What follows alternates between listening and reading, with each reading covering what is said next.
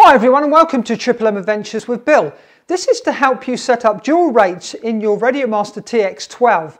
Now dual rates we use to allow us to have different amounts of movement on our ailerons. So if we are in our forward position of a three position switch, we would have full deflection of our ailerons. If we then click into the middle position, we would have a smaller amount and then if we click into the next position we would have even an uh, even smaller amount of aileron movement deflection.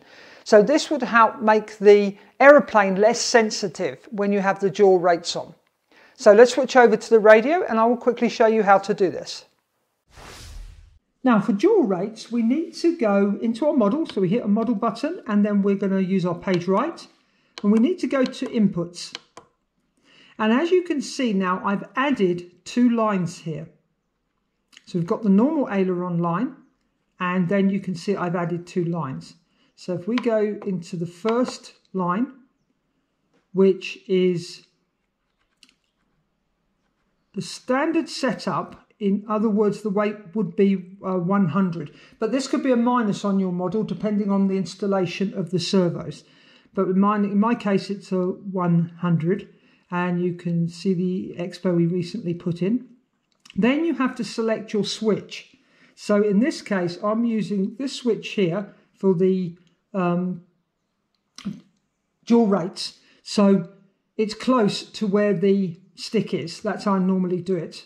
So I've used C. So you can see the dual rates coming in. If you watch the screen carefully, so on the first screen, the first aileron line, when the switch is in the normal position forward, that would be full throw.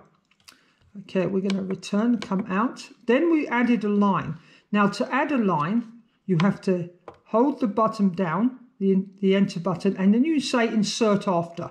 I'm not going to do that because uh, I've already done it. You'll say insert after and it would add another line. So I'm going to return and come out. Then in that line, if we go to edit, you can see we've got our source is the aileron stick. We've put a weight of 50% and we are now selecting the switch in the middle position. So that's switch C in the middle position and you can see it's showing you the, the dual rate. So that's no dual rate. This is the first dual rate. And that's everything you would need to be put into there. We're going to push return and we're going to go to the last one. We're going to edit that. And you would do the same again. You'll copy a line down and then you will go down and change the weight. In this case, I've put 40%. And then we go to the switch and that is the switch in the back position. So that will be uh, full dual rate, that will be medium, and that will be full throw. Now let's demonstrate dual rates.